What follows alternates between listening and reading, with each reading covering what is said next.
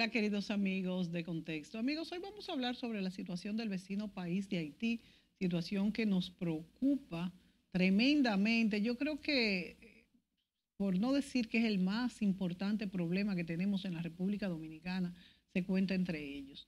Nos acompaña el historiador Manuel Núñez, quien desde hace muchos años ha advertido que esta es una, un volcán a punto de, de explotar. Bueno, ya ha explotado hace hace unos años realmente. Y los últimos acontecimientos hemos visto que dos aviones norteamericanos han sido tiroteados desde el territorio de Haití y han tenido que venir a aterrizar en la República Dominicana y producto de esto, las Naciones Unidas ha retirado el apoyo humanitario a Haití. Imagínense un país, un desastre de país como, como hay ahora mismo, donde las bandas enfrentadas pues atentan contra la población. De hecho, estaba viendo en las redes un, un, video donde una señora fue avaliada y, se veía mutilada toda por estas bandas. De manera que recibimos a, Miguel, a Manuel Núñez y, y, también para comentar qué va a pasar donde ahora tampoco tenemos un interlocutor claro, aunque el primer ministro fue depuesto y ya hay un, un supuesto, una persona que es empresaria ahora mismo en ese cargo, pero por qué fue depuesto no está muy claro y cuál es la situación política y el rumbo de esa nación hermana y vecina, pero que la verdad es que está en una situación ahora mismo de, precariedad, de violencia y que no entendemos cómo se va a solucionar. ¿Y qué han hecho las misiones oficiales que han ido. Por ejemplo, fue una misión de Canadá, tengo entendido, la de Kenia, pero apenas creo que son ciento y pico de hombres. ¿Y quién va a resolver ese problema, Manuel? Aparentemente es un problema que no tiene una solución en el corto plazo eh, visible, a pesar de que ellos siguieron un, un plazo de, de un año o dos años para celebrar elecciones. No hay ni siquiera la, la, la, visión de cuándo se le pondrá punto final a las bandas que asedian ese país, bandas que asesinan, que matan, que violan, que mantienen en intranquilidad a la población. Son más de 200 grupos eh, dirigidos, eh, comandados, capitaneados por eh, Jimmy Cerisier alias Barbecue, que es el jefe del G9, que es la federación mayor de bandas que controla el territorio.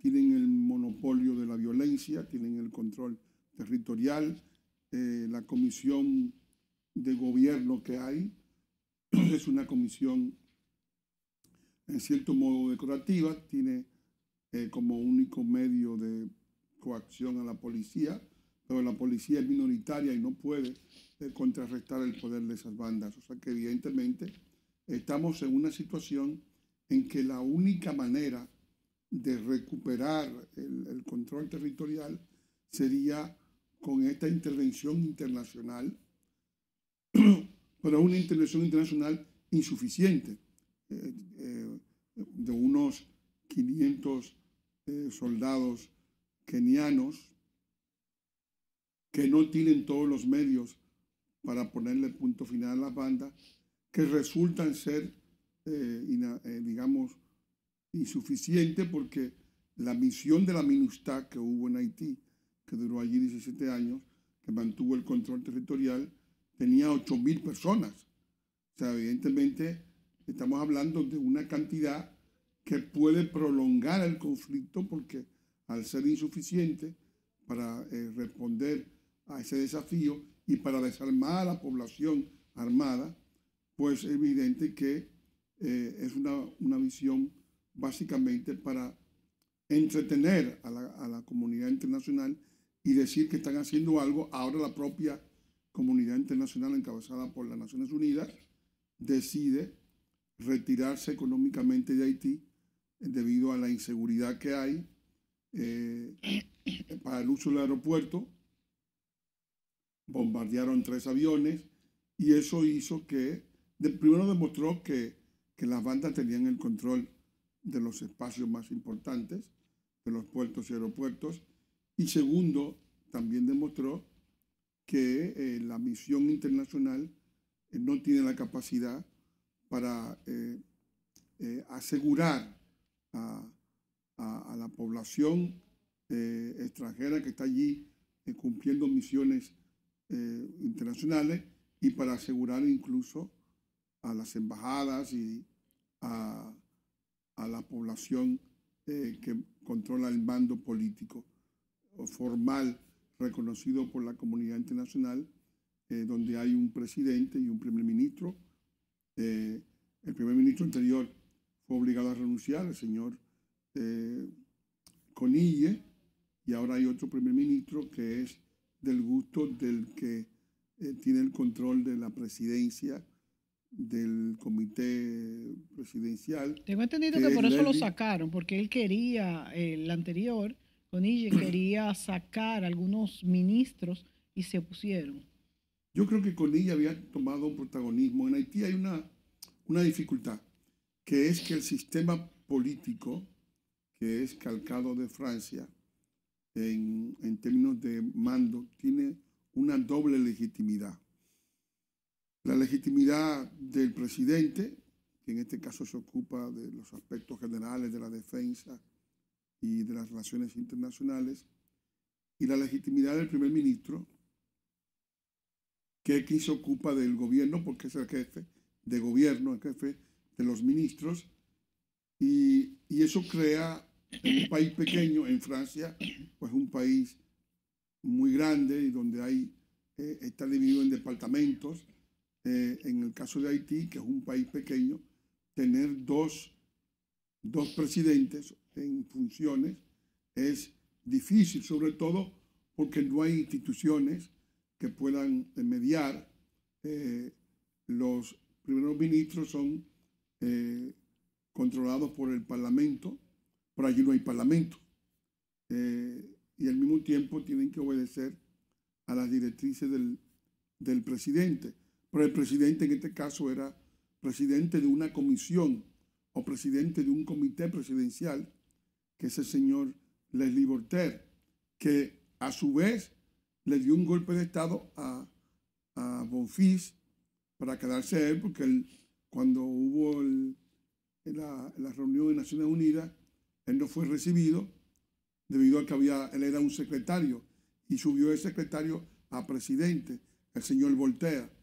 Pero al mismo tiempo, como Conille tenía un protagonismo internacional muy fuerte que podía opacar a Voltaire, Voltaire decidió eh, liquidar a Conille, presionarlo para que saliera y finalmente lo sacó para colocar a una persona que él pudiera manejar, que obedeciera eh, dócilmente a, sus propósitos. Las noticias dicen, Manuel, que está la situación peor después del derrocamiento de este primer ministro y que ahora pues ha sido un golpe para unas posibles celebraciones de elecciones.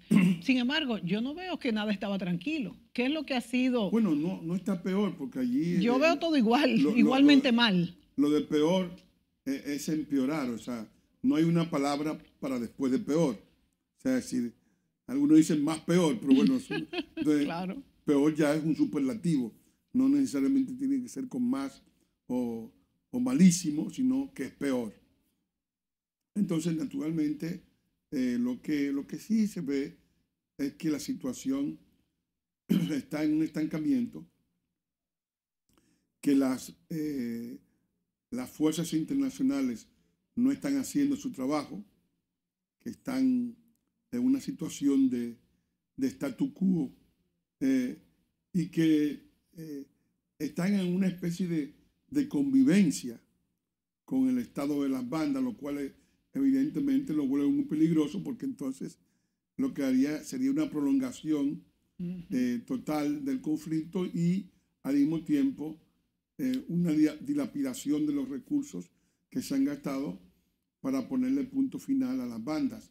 Lo que es real es que mientras no se tenga eh, una pacificación total del país, un control territorial, un control del espacio marítimo, un control del espacio aéreo, un control del territorio, eh, un control de lo que es la convivencia en, todas las provincias y un aspecto de seguridad para la población que lo puede dar una policía, en este caso, y una guardia efectiva.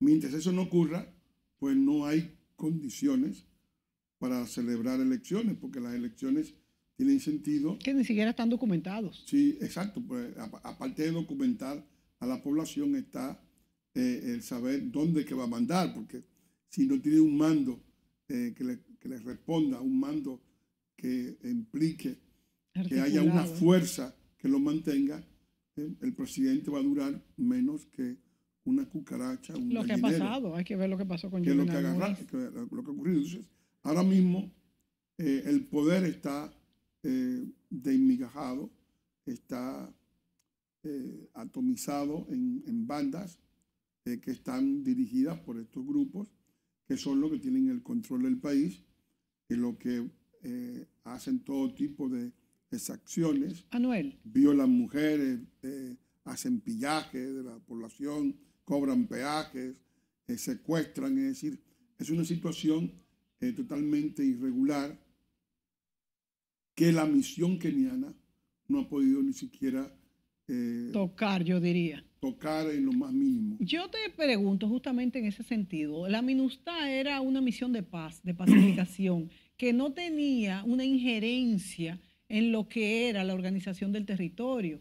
Y la MINUSTA pasó muchos años en Haití, decidieron sacarla, se dijo que iba a ser mucho peor, que no era el momento de sacarla, se advirtió esto y como quiera se sacó y ahora todo está peor, pero no fue que la MINUSTA tampoco eh, hizo lo que se pretendía que hiciera, que era una organización del territorio y una pacificación total. Las bandas han tomado mucho más preponderancia después que salió la MINUSTA. Pero mi pregunta es, la misión de Kenia, sí se supone que se, o no, es una pregunta, ¿qué se supone que haría más que la MINUSTA teniendo mucho menos hombres?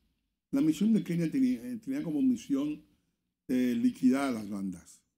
Si era una misión eh, que no era una misión en el sentido de la MINUSTA, porque en la época de la MINUSTA no había en efecto bandas, y de hecho la MINUSTA logró el desarme de la población logró sacar a, uno de los jefes de banda, apellido Constant, que era una persona que había incordiado a toda la población de, Haití en aquel momento.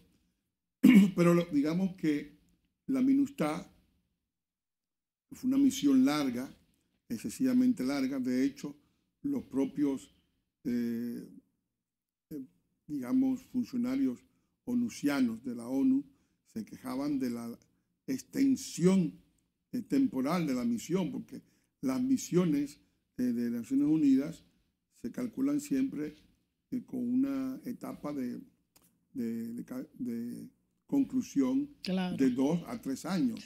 La MINUSTA duró 17 años y los haitianos querían prolongarla, pero evidentemente mantener a una misión que costaba 900 millones de dólares por 17 años ya era eh, una, una osadía. y naturalmente la misión eh, se dio unos parámetros eh, bastante limitados porque estaba como misión de paz y de desarme y no como misión para crear instituciones que debió concebirse como una misión para crear una Guardia Nacional y para crear una Policía Nacional. Claro que eso no se hizo. que no se hizo. Y evidentemente, eh, una vez que la misión sale, el país, eh, el Estado desaparece como tal, porque eh, las bandas controlan el, poder nacional del país, controlan el, poder militar, el monopolio de la violencia, tienen el control territorial y, y, tienen también el control de, la, de, de todos los los puntos eh, estratégicos de Haití. Entonces, frente a eso, lo que hay es un, gobierno civil, entre comillas, sin ningún tipo de, poder eh, reconocido por la comunidad internacional, que no tiene eh, ninguna posibilidad de expansión a todo el territorio hasta tanto no se produzca un proceso de liquidación y pacificación de Haití. Nos vamos a la pausa, Manuel, y hablemos en este segundo segmento sobre algo que nos, nos tiene muy preocupados. ¿Cuáles son, cuál es la influencia en la República Dominicana de esta, esta ola enorme de violencia que se vive en Haití? Volvemos de inmediato.